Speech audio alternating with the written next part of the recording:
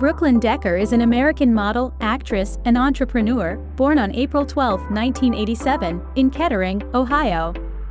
She began her modeling career at the age of 16 and quickly rose to fame, gracing the covers of major fashion magazines and walking the runways for top designers.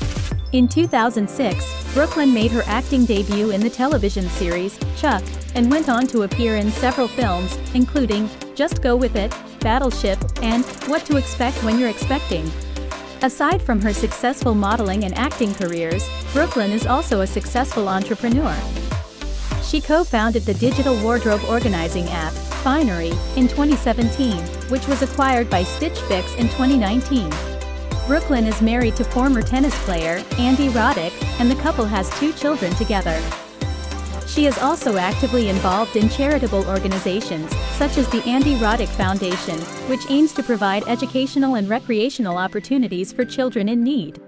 Overall, Brooklyn Decker is a talented and multifaceted individual who has achieved success in various fields and continues to inspire others with her dedication and hard work.